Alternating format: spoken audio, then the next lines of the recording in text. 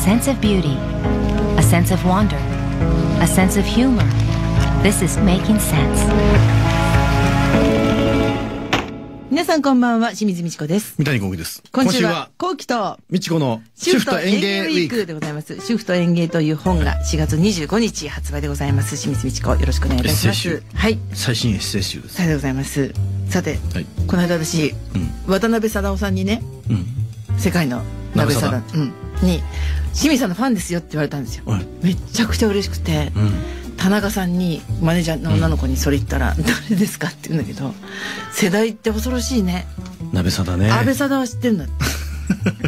安 安倍さだって安倍さだおでしょ？あ、そうか、二人いるからね、安倍貞。元の安倍さだ知らないと思いますよ。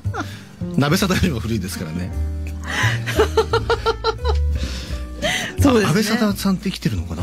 生きてないでしょ。もう死んじゃった。わうん。かんないですよ。うん。怒ってるか。見てらっしゃ、聞いてらっしゃるかもしれないです。知ってらっしゃいましないけど。だから、そうですね。安倍貞夫さんが、なんで安倍貞夫っていうかっていうことも多分みんな知らないですもんね。あ、多分安倍貞から来てるわけでしょ？そうですよね。うん。なんでそこから来たんだろうね、安倍さんも。佐藤 B 作さんがなんで B 作っていうかも知らないですよね。あきっと。そうだ、栄作の方知らないかも知しれないねらないで。すもんね、きっと。うん。そうなんですよ。鍋貞知らないのか。そう、そうだった。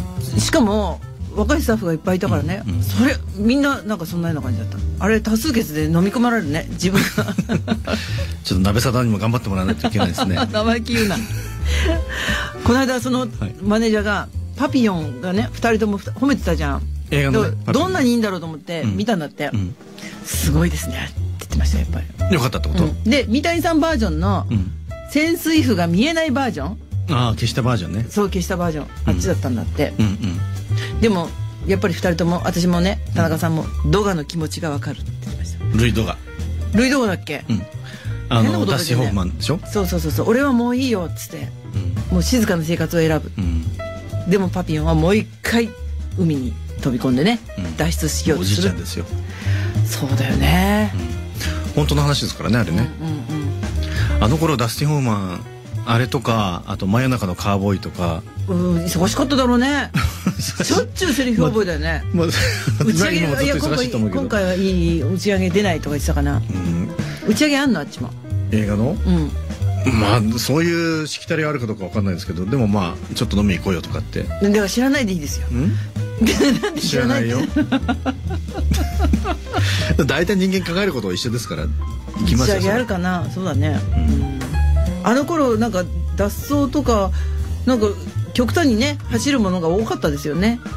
極端に走ると言いますか。ネズミがこんなに来たりして船が転覆したりして火事がこんなふ うに高いところであのパニックものってこと？そう。でしかも一時映画映画館を揺らした映画が。大地震。え大地震だっけ？ありましたね。どうやってやったの？今考えたら。なんか、あれじゃないですか、あのー、重低音みたいなやつじゃないですか？あんなそんな単純なものだったっけ？でも知ってます？あのー、ニューシネマ時代があったじゃないですか。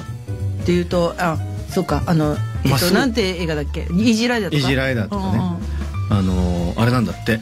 それまでのアメリカ映画は、もう僕もよ詳しく知らないからあれなんですけど、ざっくり言うと、もう本当に美男美女が出てきて、で、えー素敵な恋をしてみたいな。ハッピ。ーエンドっうん。ぽい、でそこにはそのね、こう、セックスとかね、そういうものの存在すらバイオレンスもないと。ない。うん。ところで、でもこんなの嘘だ言い始めた人たちがいて、うん。でそれが、えーああいう「俺たちに明日はない」とかから始まるらしいんですけど、あのものすごい撃たれてバババババババってあのマシンガンで撃たれて死んじゃうの見ました？な何の映画俺たちには明日はない。あはいはい見ました。とかね、うんうんああいうのとかでバイオレンスそれこそそういうセックス描写とかね、うんうんうん。汚いものもみんな見せる。んで俳優さんも2枚目じゃなくてそのアルパチーノとか、うん。それこそダスティン・ホフマンとか出てきて。でそれが一時代は気づいたんだけど、うん。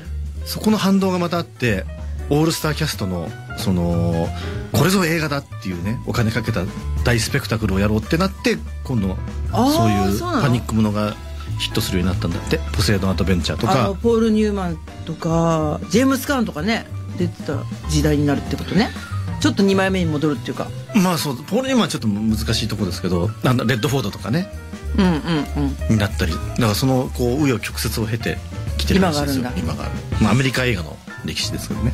今の印象っていうとでもやっぱりあの007みたいな、うん。あんなような世界に一回やっぱ戻るね。今もまだ。今はどうなんですかね。もうだってニューシネマの時代は終わっちゃいましたからね。そっか。あの CG の時代になったのかな、じゃあはっきり言って。そうですね、うワーテルローっていう映画があるんですけど、うん。このナポレオン今度己ナポレオンをね今やってますけど、それの参考に見たんですよ。んうん。あのまだ CG がない時代にその本当にワーテルローの戦いっていうのがねナポレオンとあの、イギリスが戦ったすごい戦争なんですけどそれを本当に何万っていうエキストラを使ってその戦ってるシーンを再現してるんだけどうん。ものすごいですよ。やっぱり CG いくら CG が発達してても、あの迫力にはねかなわない気がした本当の戦争よりももっと人数多いぐらいな感じなんですもん。もう隅から隅まですごい兵隊たちがバーって。当時だからフランス軍もイギリス軍もかっこいいんですよ。なんかあの真っ赤なあの軍服とかね。青い軍服とかがが何万人も集めてそれで戦うなんて綺麗もう綺麗って言っちゃうとね変ですけど、とにかくもう、まあまあすごい。これぞ映画だみたいな感じだったへえ。私だかだけどその時代をちょっと遡ったようなジャンゴっていうのをそういえば見た？あね？あれののタランティーノのね。そうそうそうどうでした？もう面白かったですよやっぱちょっとスカッとするっていうかね、うん。あの完全懲悪ってやっぱ 気持ちいいんだよね。あのうさばらしになる？なんかマカロニウエスタンの思わずだからうん多分知ってる人はもっと楽しめると思うんだけど、私そのマカロニウエスタンそんな知らないからね、うん僕あんまり知らないですね。だからみんながちょっと笑ってるようなシーンで一人ぽっちって時もどこも多かったですけど、なんかマカロニウエスタンに出てた渋い俳優さんとかがすごくゲそうスなんだってトで出たりしてるんだってうんうんうん。で賞も取ったんだよねすごくね。賞何取ったかな脚本賞取ってましたねタランティーノタランティーノ強いね。がうん。あの人こそでも感じるよね映画への愛情みたいなのねすごい感じますすごいちょっねとオタクっぽい感じもするもんね。うん。なんか僕に会いたがってるらしいですよあ本当に？うん。日本映画大好きだもんね。うわう嬉しい。日本大好き。会う時教えて会う時教えて。いいよ。